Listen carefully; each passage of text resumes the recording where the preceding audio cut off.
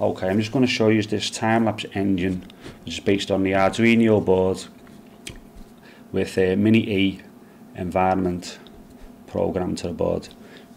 I'll show you a quick demonstration of it all working, then I'll strip it apart and just go through quickly as I can. I'll do an, another video, a bit more detailed one, so to encourage me to do it quickly, please, please, please, pop a comment below. We've took the time to do this video for you, so please take the time, pop us a comment below. So I'll just power up the board, power up the Easy Driver, and let's see the motor working. So what I'll do, I'll just pop it into the motor, uh, motor steps, I'll zoom up, I'm not sure whether you can see, there we go, motor steps, and the direction is clockwise. And there we go the motor's turning. Stop. Back into the motor. Steps. We'll go higher to speed it up. To four six eight steps. Direction. Anti-clockwise.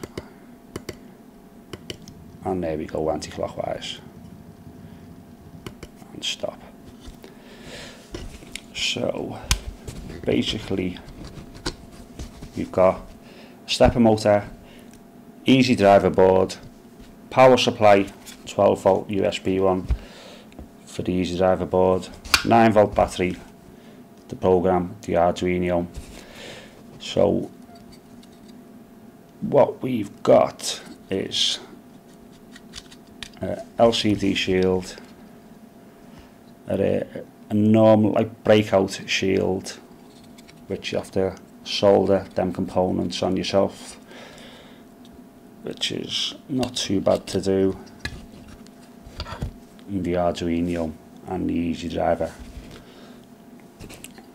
So the breakout board pops onto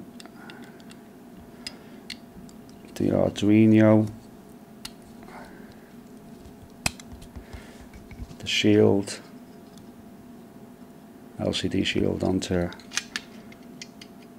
the breakout screw shield, it's called a screw shield.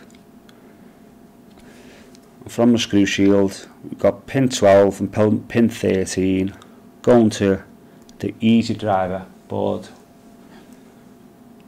which is going to the step and direction. Number I can't read them, but number 12 going to the outside one, number thirty 13 the inside. Power plus and minus, labelled motor, four wires, going to the motor. Very, very simple. And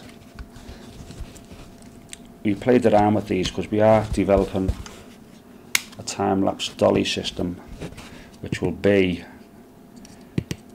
very, very, very affordable because literally the ones out there are just ridiculous money and I've got no idea why they charge so much for them. So pop a comment on come back to our site and we'll give you an update when we've got our dolly system developed which will have options to mount a motor and control it with this. So there we go.